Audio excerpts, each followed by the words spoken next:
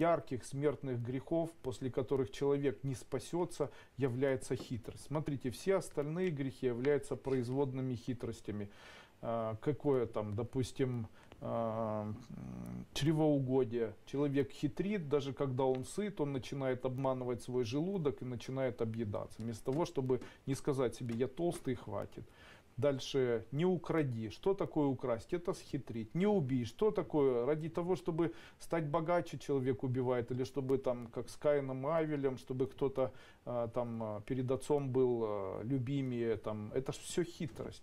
Получается, не нужно было придумывать большое количество законов, необходимо было только один закон придумать, это хитрость.